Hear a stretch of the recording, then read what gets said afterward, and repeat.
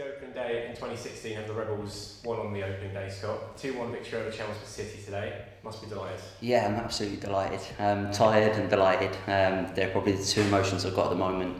I think uh, the first half was really disappointing. Um, the goal that we conceded was avoidable. Um, a little bit of a mix in, mix up in communication um, between myself, maybe Charlie and Henry. Um, but I think it's down to me to be honest because I thought we had Henry on the post. He's ended up having to go and mark, so I've kind of not wanted to head it. Um, and it's crept in the near post, so I take responsibility for that, and I would have done whether we'd lost the game, drawn it, or won it. So um, yeah, I should probably done better. Um, at half time, I started speaking to the boys, and I'll be brutally honest, I I kind of lost it um, halfway through, and I didn't intend to do that. But when I started looking at them, I thought it's not us, um, and had to give them a bit of a rollicking, and I think it paid dividends in the end. So I thought second half we were good value. Um, I thought we looked more like us. Um, we looked leggy, we looked energetic, we looked like we had an idea and an understanding of how we want to be. Um, and we probably could have got a couple more, um, albeit Charlie Horlock has made a couple of great saves in the first half to keep the score down. So um, yeah, overall, really, really um, happy, of course, to be a team like Chelmsford. Um, fantastic football club from top to bottom. Um, I know a lot of people there, obviously, um, the people in the, on the board, um, the manager, the assistant manager, are all good friends of mine. So they'll be up there this season, I'm sure. Um, so for us to be a team like that, it's, uh, it shows it shows that we've started well. Like you said, second half was a lot better. What wasn't quite clicking for you in the first half? I think the distances, we didn't get our press right, um, and that was the one thing that we really struggled with. We didn't win enough second balls, all the fundamentals. I thought Ryan Blackman for them in the first half was, was superb, to be honest. Um, and then in the second half, when he went off, it was probably a bit of a blessing because he's an excellent footballer. I think he's one of the best midfielders in the league. So when he went off, I said to Henry and Leon, we've got a chance here um, because he is their glue. Um, so yeah, I think we sort of stepped on a little bit. Uh, we went to a back four halfway through the first half. Um, they played a different shape to what we expected as well, so it kind of caught us out.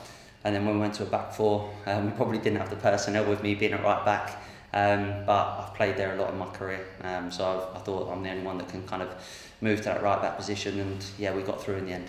You mentioned Charlie's save, the one I think his last five minutes towards the end of that first half, one on one with uh, Freddie Hockey, definitely has kept us in the game today, hasn't it? Yeah, of course it has. I'm delighted for Charlie. Um, he's been a breath of fresh air since he's come into the football club. Um, made a hell of a save um, to keep us in the game because when it goes 2 0, I think the way that we were feeling at the time, it probably um, knocks us for six, and I don't think we get back into it. So, massive credit to Charlie, huge part of today's win.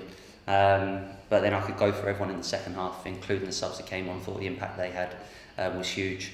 Um, obviously, Slavy getting his two goals as well. Um, delighted for him. He probably played second fiddle last season to Nathan, um, but this season he's a, he's a big player for us. Um, in my opinion, I think he's got a really high ceiling. I think he can do really well for the football club, and I'm delighted for him today to get his two goals. I also think there's probably some appreciation for one of the substitutes today, John Ufer, who I think made a big impression around the ground. What did you think of his performance today? It's really difficult to leave the subs on the bench. Um, everyone's done well in pre-season. It's been really tricky, but we've got yeah we've got a really difficult selection when we come when it comes to our wide man, uh, our wide men or wide centre forwards, whatever you want to call them. Um, Gary and John, I thought, were both brilliant when they came on. Um, John obviously had an impact for the, the first goal. Um, so yeah, you could go throughout the whole team. Gills' delivery for the for the set piece, for Slavy's header. I thought Alexis and Bayliss really come to the fore in the second half. Jammers was solid. Leon, he worked his socks off. So um, it's really difficult to single people out. Um, we'll never ever win a game at this football club by ourselves. So it's going to always take a team effort, um, collective effort, and I think that's exactly what it was today.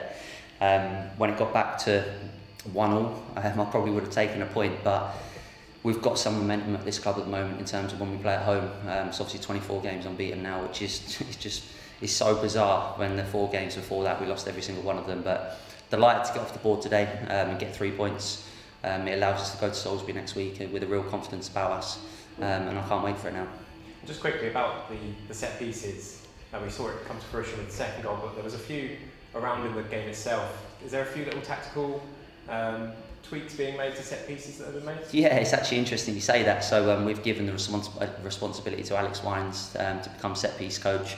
Um, I don't know if we're trying to copy the Premier League or anything like that, but you hear about them these days. And Winesy's um, a student of the game. Um, he really does. Um, yeah, he's fully invested in what he does with goalkeepers. And I just said to him when we, we had dinner at the back end of last season, um, I'd love you for you to be set piece coach and really focus on that. Um, so massive credit to Winesy. He's come up with a few different corners, some new ones.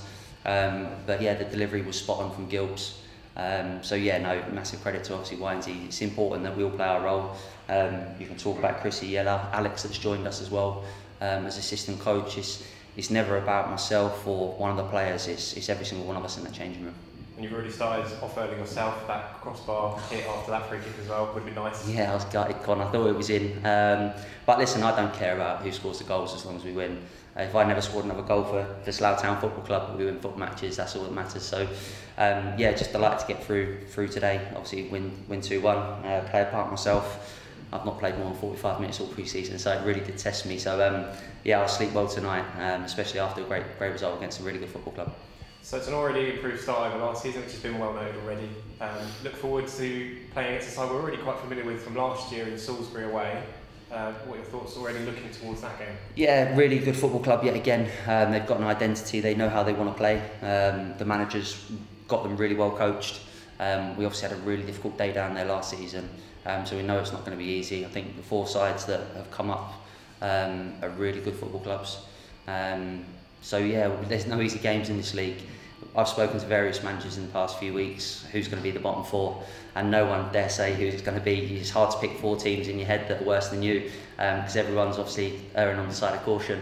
Um, but the quicker the teams and clubs can get to 50 points, um, I'm not saying you can take your foot off the gas and relax, but it certainly does help. So that'll be our first target. We've got 47 more to go. I know it's so cliche, but um, we did it last season in a in a really nice manner, um, and hopefully, hopefully now we can pick up some more points um, in the next few games. Well, thank you again for your thoughts, Scott. Congratulations on the opening day win, and we will see you next weekend at Salisbury. Cheers, Connor. Thanks very much.